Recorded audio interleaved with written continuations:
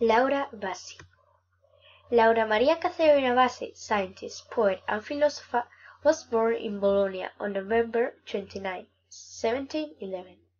Laura was a child prodigy who begins to receive instructions at only five years old at home.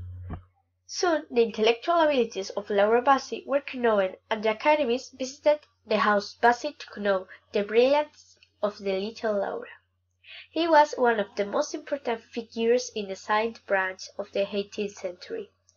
She died on February 20, 1778, in Bologna, and was remembered for her strong religious convictions, her dedication to the less fortunate, and her poetry.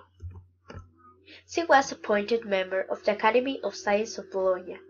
She participated in a public debate on philosophy by confirming five notable academies from Bologna, impressing the audience among who had important people. The University of Bologna awarded her an honorary doctorate due to his evident intellectual abilities.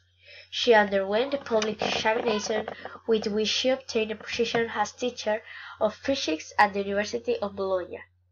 She gave her first lecture at the university, and to came personalities from the both inside and outside academic community.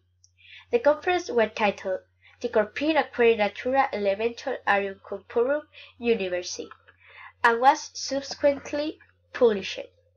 She managed to have a long science career with the same equality as the men of the time, saving all the difficulties that arose during her career due to her condition as a woman.